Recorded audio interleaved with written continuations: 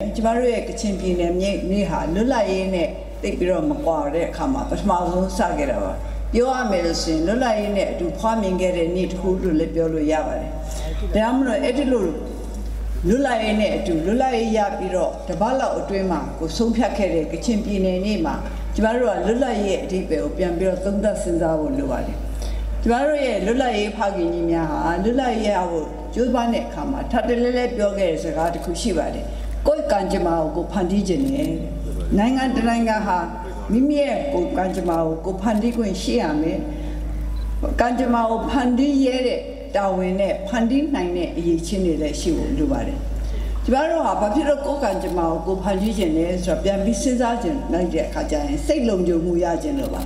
သူများရဲ့လက်ထဲမှာကိုကလူများလက်ထဲကရေလို့ လူများရဲ့ဆုံးဖြတ်ချက်အရာကိုယ့်ရဲ့ကံကြမ္မာဖြစ်ရမယ်ဆိုလို့ရှိရင်ဘယ်လို့မှကျမတို့ဟာစိတ်လုံခြုံမှုရှိနိုင်မှာမဟုတ်ပါဘူး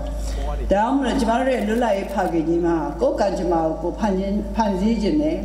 ကိုယ့်နိုင်ငံရဲ့လုံခြုံရေးအတွက်ကိုယ့်ရဲ့နိုင်ငံသူနိုင်ငံသားရဲ့စိတ်လုံခြုံရေးရုပ်ပိုင်းဆိုင်ရာလုံခြုံရေးအတွက်တာဝန်ယူခြင်းနဲ့ဆိုတဲ့ဟာကိုပေါ်ပြသွားတာပဲဖြစ်ပါတယ်။ကျမတို့စိတ်ပိုင်းဆိုင်ရာလုံခြုံဖို့ဆိုတာဟာရုပ်ပိုင်းဆိုင်ရာလုံခြုံမှုလည်းလိုပါတယ်။ ဒါကြောင့်မလို့ကျမတို့လွတ်လပ်ရေးကိုပြည့်မြောက်ဖို့ဆိုလို့ရှိရင်ပြည်တွင်းရေးမြင်းကြိုင်းရေးဟာအင်တာမအရေးကြီးပါတယ်။လွတ်လပ်ရေးရဲ့ရည်ကြည်ချက်ဖြစ်တဲ့ကိုယ်ကံကြမ္မာကိုဖန်တီးရေးကျမတို့ရဲ့နိုင်ငံသူနိုင်ငံသားများစိတ်လုံခြုံရေးအတွက်ဆိုလို့ရှိရင်ငြိမ်းချမ်းရေးဟာလည်းမဖြစ်မနေရရှိရမယ့်အရာတစ်ခုဖြစ်ပါတယ်။ဒါကြောင့်ကျမတို့အားလုံး